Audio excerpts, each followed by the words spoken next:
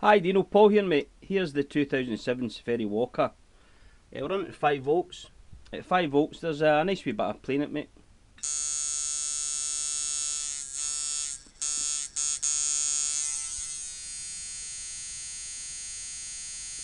And just to show you the versatility in this wee machine, we'll go up to 5.5. A bit harder hitting out. We'll go up to 6.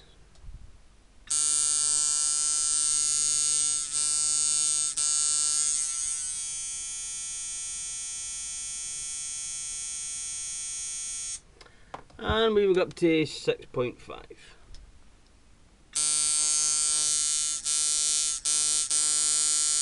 It's an absolute peach of machine, mate. I guarantee every part on it.